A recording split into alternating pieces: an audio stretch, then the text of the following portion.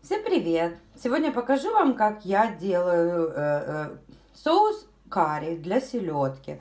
Все получается очень-очень вкусно, необычно. То есть, если вы хотите удивить своих гостей или на какой-то праздник сделать, селедочка получается просто обалденная.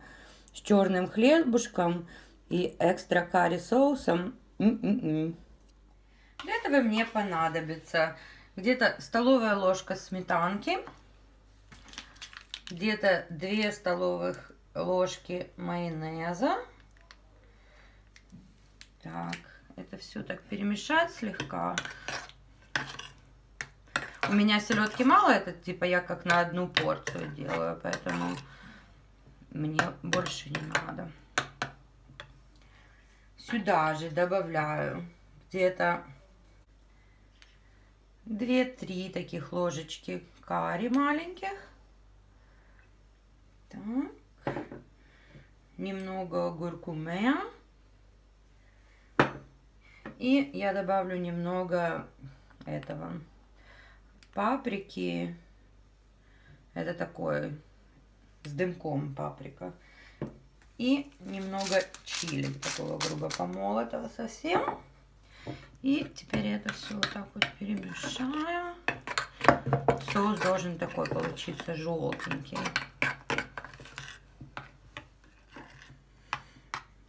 Вот, так немного перемешала. Теперь пробую. Я бы еще ложечку карри добавила бы. Мне карри нравится. Так, немного карри добавляю. Добавляю сырой лук. Совсем немного. Или по вкусу, кому как. И натираю вот такой вот совсем маленький кусочек э, этого кислого яблочка.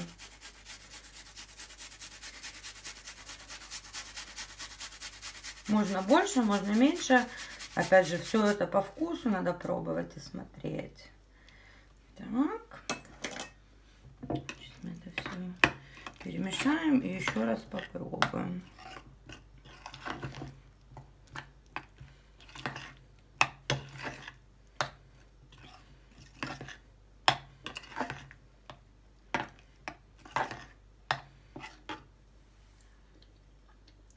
Вкусненько.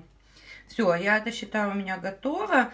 И пока соус настаивается, я сюда нарежу мои филешки селедки.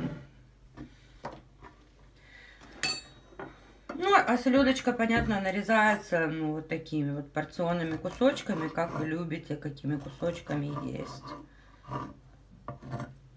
Ну вот, селедочка нарезана, соус у меня готов. И теперь просто я закидываю в этот соус.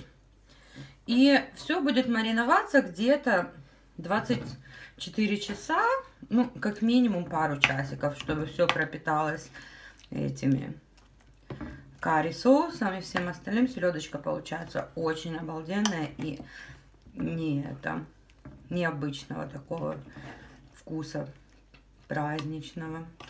И сюда, понятно, я сейчас еще э, нарежу немного зелени, я нарежу немного зеленого лучка вот такими вот маленькими колечками.